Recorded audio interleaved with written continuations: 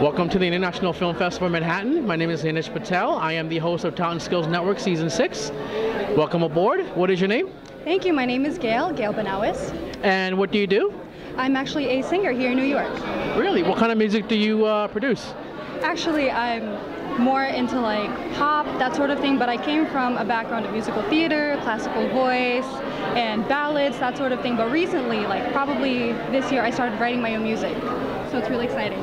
And where can we find you on social media? You can find me on Facebook, Instagram, and YouTube as Gail Banawis, which is G A I L B A N A W I S. And yeah, you can follow me there. Thank you so much. Uh, good, talent, good talent's hard to find? Not anymore.